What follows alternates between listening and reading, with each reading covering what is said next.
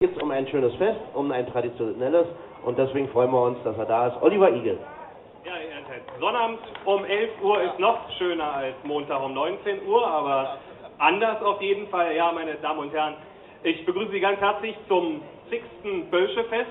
23 zählt ähm, die Firma Laubinger. Wir haben vorhin schon ein bisschen ähm, geschärft. Wir könnten ja nächstes Jahr sagen, einfach, es ist das 100. Bölschefest und wir feiern ab jetzt jedes Jahr Jubiläum. Aber das zeigt der 23 Bölschefeste, dass dahinter auch eine Qualität steckt, dass dahinter ähm, ganz viele Besucher äh, stecken, die gerne kommen, ganz viele Händler und vor allen Dingen ein Kulturprogramm, das es in sich hat. Herr Ehrenthal hat das äh, gesagt und das macht einfach auch ein solches Fest äh, aus. Nicht nur Essen und Trinken, sondern auch ein bisschen drumherum, woran man auch ein bisschen Spaß haben kann.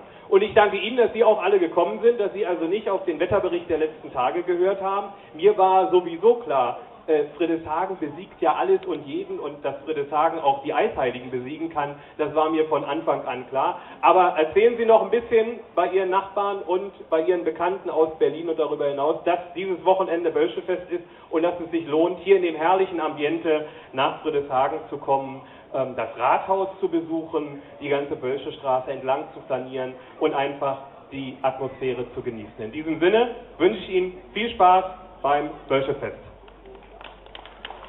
Dankeschön.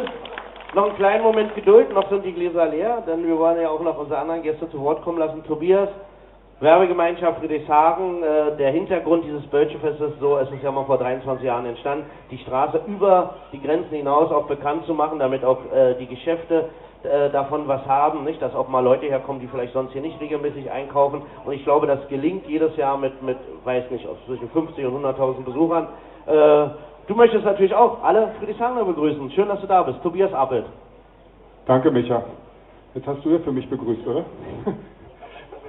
da bleibt noch auf Text. Äh, willkommen in Friedrichshagen. Wir freuen uns natürlich, ähm, dass sowohl das Wetter toll ist, als äh, auch, äh, wir freuen uns auch darüber, dass der Herr Igel Zeit gefunden hat, mal zu einem festlichen Anlass hierher zu kommen.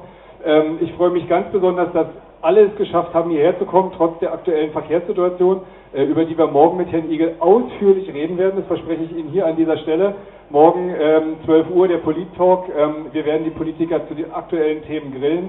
Ähm, wir haben wie immer ein umfangreiches äh, Programm, viel Regionales, eigentlich fast nur Regionales, oder? Das zeichnet die Bölsche Straße aus, Kleinzelligkeit, kleine Dinge, die dann doch ganz groß rauskommen ähm, große Projekte wie der Kampf gegen äh, verschiedenste Großprojekte der Politik, die, die man sich einfach nicht gefallen lässt, oder auch einfach kleinere Sachen wie das, äh, die Rettung eines Rathauses auf der Bölsche Straße.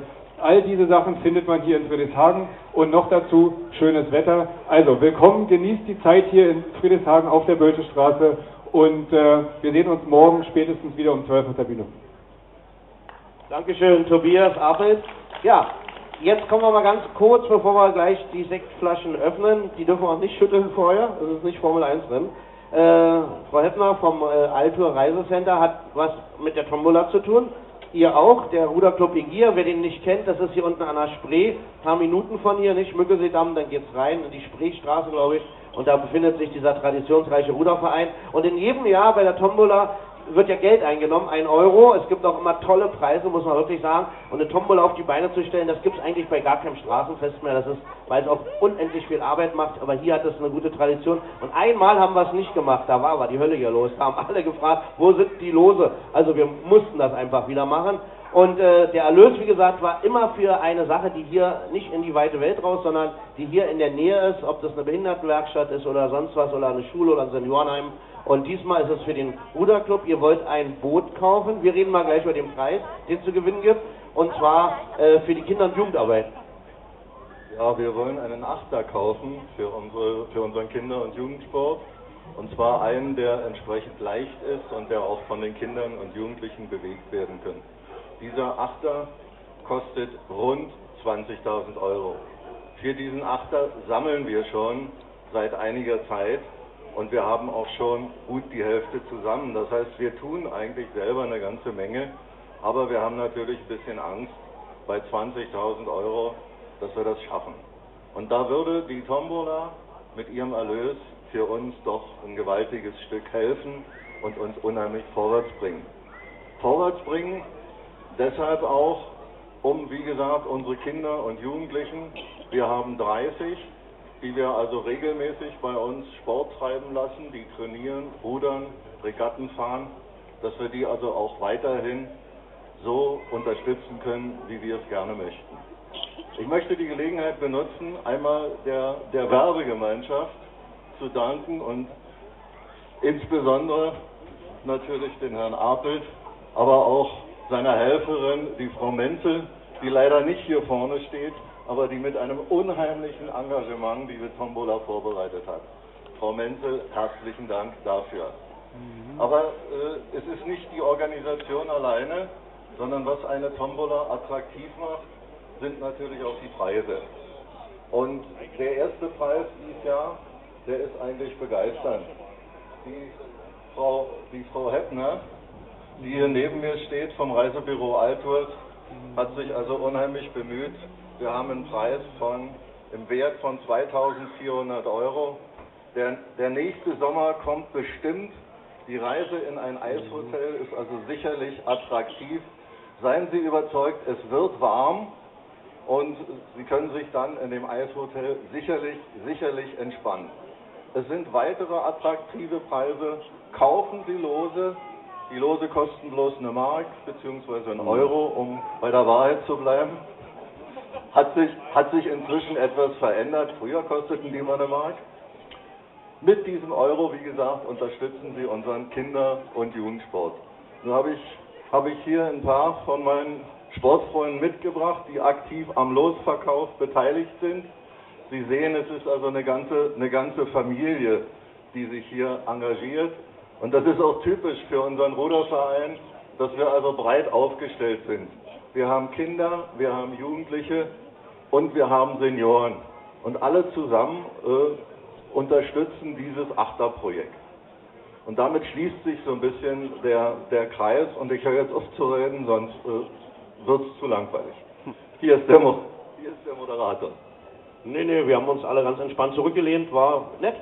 Gut, das war eine tolle Werbung gewesen für diese Sache und wir werden das natürlich, wenn unser Ruderfachmann nicht mehr da ist, das ganz oft noch sagen. Und wir wissen ja, immer wenn man die Preise nennt, dann, dann stürben alle die Losverkäufer. Ihr müsst also auch hier in dem Bereich auf dem Markt oft unterwegs sein. Also wir kriegen das schon hin und wir sind gespannt. Morgen, um wie viel Uhr machen wir es? Um 16, 17 Uhr werden wir dann hier erstmal die Preisträger nennen. Das wäre schön, wenn Sie alle da sind und den Preis entgegennehmen wenn sie gewonnen haben. Und wir werden natürlich auch wissen, wie viel zusammengekommen ist. Und mal gucken, ob es dann schon für das Boot reicht oder ob noch was fehlt.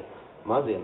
So, jetzt wollen wir aber auch ganz kurz den Hauptpreis nennen. Ich darf sagen, dass es zum Beispiel, äh, es gibt eine Herrenarmbanduhr im Wert von 850 Euro, iPad Mini äh, 350 Euro, dann gibt es Reisegutscheine, ein Hundebett im Wert von 159 Euro, wenn man reinpasst, mal klar.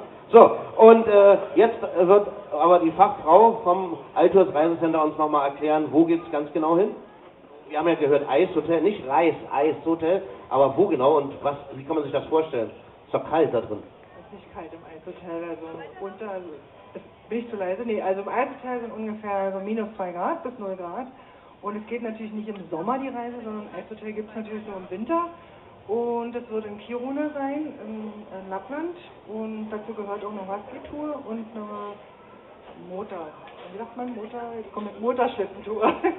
genau, inklusive Flug. Also man schläft direkt auf dem Eisbett, ne? aber da ist schon irgendwie eine Decke dabei wahrscheinlich. Ja, da sind richtig Schlafdecke mit bei und man friert auch überhaupt nicht. Ich habe schon zweimal ausprobiert. Also es ist wirklich meine Erfahrung. Alles aus Eis, nicht? Das Restaurant aus Eis und sogar die Eiswürfel im Caipirinha aus Eis. So, also besuchen Sie dann die Lappen, heißen die Einwohner dort, ne? Lappen. Ja, in Lappland heißen die Lappen. Samen? Die, in Lappland heißen die Einwohner Samen. Da haben wir was gelernt. Gut, alles klar. Also jetzt kommen wir aber zu dem, worauf auch viele warten. Wir wollen ja nicht nur äh, Informationen rüberbringen, obwohl, da kann man sagen, beim Bölschefest, da haben wir was gelernt. Und dazu gibt es jetzt diesen großen Champagner, und der Tobias wird uns gleich nochmal sagen, ich habe es ja vorhin schon mal angedeutet, aber wir sagen es nochmal, wir hatten ja viele Jahre immer ein Fass hier, nicht, vom Bürgerbräu. Nun wird da gar kein Bier mehr gebraut. Da haben wir gesagt, jetzt steigern wir uns, jetzt werden wir richtig nobel. Wer weiß, was es in zehn Jahren gibt, aber jetzt gibt es erstmal was ganz Feines und von wo kommt denn der? Ähm, ja, also wir, wir sind ja immer ein bisschen was Besonderes. Ja, und Fassbieranstich kriegt ja jeder hin. Und nachdem wir regional keine Brauerei mehr haben, müssen wir natürlich gucken, dass wir immer unsere regionalen Unternehmer unterstützen. Und wir haben ja einen sensationellen Weinladen hier, der Weinladen Manfred Balzer. Und äh, der sponsort seit äh, mittlerweile, glaube ich, drei Jahren, Regina, hilf mir, drei Jahren, äh, den Seit drei Jahren, seit vier Jahren, seit vier Jahren sponsert der Herr Balzer immer einen wunderbaren äh, Champagner und ähm, ja, wir werden die Flasche jetzt mal aufmachen. Herr Igel wird mir dabei helfen. Wir werden gucken, dass wir das ohne Dusche hinkriegen und dann sind natürlich alle auch eingeladen auf ein bisschen Champagner. Ja, genau in diesem Moment wird es gemacht. Unvergesslich unser Bürgermeister Ulbrich, der stand hier beim Fassbieranstich und der musste sich da Nein, nein, unser Vor Vorgänger, ne? Das war der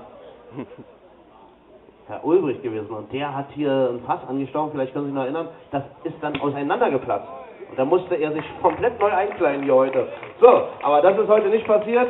Und jetzt wollen wir mal schauen, ob wir da ein bisschen was einschenken können. Wir wünschen allen viel Spaß. Kommen Sie nach vorne, holen Sie sich ein Gläschen, stoßen Sie gemeinsam mit uns auf das 23. Fest auf der Bölsche an wieder mit über 100 Künstlern auf dieser Bühne und vielen Attraktionen in der Bölsche Straße vom Bahnhof bis runter zum Müggelsee und heute Abend dann das große Feuerwerk, 22 Uhr, direkt auf dem Müggelsee und hier gibt es jetzt Champagner. Wir sagen Dankeschön unserem Bürgermeister, Dankeschön Tobias, danke allen anderen, die jetzt hier waren. Und morgen sind Sie alle eingeladen um 12 Uhr zum traditionellen Talk nicht nur mit unserem Bürgermeister, sondern mit weiteren Gästen. Und das Besondere ist, Sie dürfen dann wieder Fragen stellen zu allen Themen und unsere Politiker hier vorne werden dann antworten. Und jetzt machen wir Musik und sagen Prost und das 23. Fest auf der Pölsche ist damit eröffnet.